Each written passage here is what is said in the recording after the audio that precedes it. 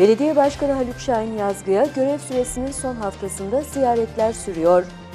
Madeni Sanatkarlar ve Tamirciler Esnaf Odası Başkanı Murat Tekin ve yönetim kurulu üyeleri Başkan Yazgı'yı ziyaret etti.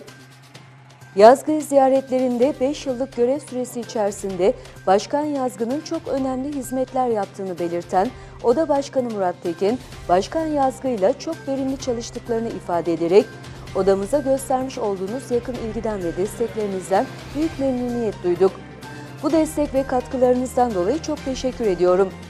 Emeklerinizden dolayı Aksaray ve bizler size duacıyız. Kanaatim odur ki gerek Aksaray'ımıza gerekse ülkemize daha nice güzel hizmetler vereceğinize inanıyoruz diye konuştu.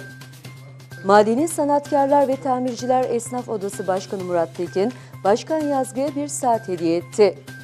Başkan Yazgı görev süresi içerisinde faydalı olmaya, hizmet etmeye ve marka şehir yolunda Aksaray'ın önünü açacak projeler yapmaya gayret ettiklerini söyleyerek ziyaretten duyduğu memnuniyeti dile getirdi.